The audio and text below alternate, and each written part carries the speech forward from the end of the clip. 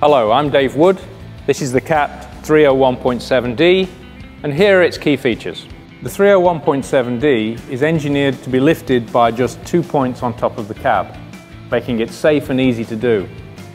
It also makes an already compact machine even more versatile when moving it around the site. Simply pushing the dozer lever into its detent position engages dozer float.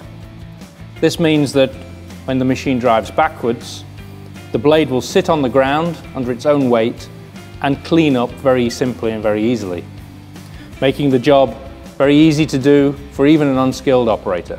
The 301.7D is designed to give excellent visibility and ventilation to the operator. First of all, the top screen can be pulled back to give ventilation.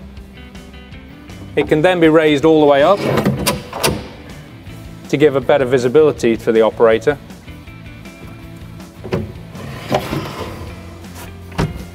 And finally, the lower glass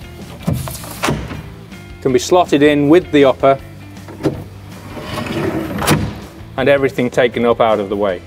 The machine's performance is enhanced by using pilot controls throughout. All the machine's functions are operated using hydraulic valves, making it very controllable and also reducing the maintenance and downtime that you'd need if you were adjusting cables or linkages.